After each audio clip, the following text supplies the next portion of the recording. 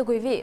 vào mùa đông, thời tiết lạnh giá, đó cũng là thời điểm mà học sinh vùng cao gặp rất nhiều khó khăn về sinh hoạt, đặc biệt là các bạn học sinh bán trú ở huyện Sapa, Lào Cai, một trong những nơi có nhiệt độ vào mùa đông thấp nhất nước ta. Để phần nào vượt qua khó khăn trong mùa đông lạnh giá, một học sinh người dân tộc Mông ở vùng cao Sapa, Lào Cai đã có sáng chế độc đáo là chiếc tủ sấy quần áo đa năng.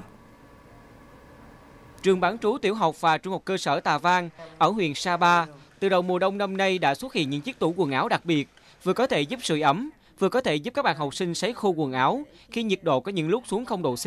quần áo phơi cả ngày không khô.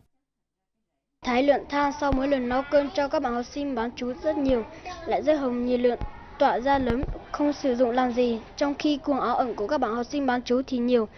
Em đã cùng các bạn mang quần áo ra sấy nhưng mỗi bạn chỉ cần được một cái ngồi đó để sấy. Và sau khi sấy khô thì lại có mùi khói.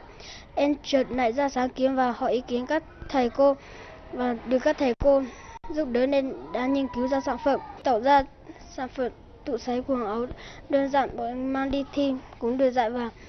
về trong trường được các thầy cô mang ra sử dụng bọn em thấy rất là vui. Chiếc tủ có cấu tạo đơn giản là sự kết hợp của một chiếc tủ treo quần áo thông thường được làm từ tôn để tăng nhiệt hấp thụ với một bình ga hết công năng được khoét lỗ để đốt củi, làm nhiệt tỏa ra hệ thống lồng đặt đá cuội, làm khô quần áo nhưng không bị ám khối Mỗi giờ tủ sấy quần áo đa năng của báo có thể sấy khô được từ 10 đến 15 bộ quần áo và cũng là chiếc lò sưởi cho các em học sinh vào những đêm đông lạnh giá. Chiếc tủ đa năng của báo tuy đơn giản nhưng được đánh giá rất cao và hiện đã được ngành giáo dục tỉnh nhân rộng ở nhiều điểm trường bán trú, được học trò hồ hởi đón nhận.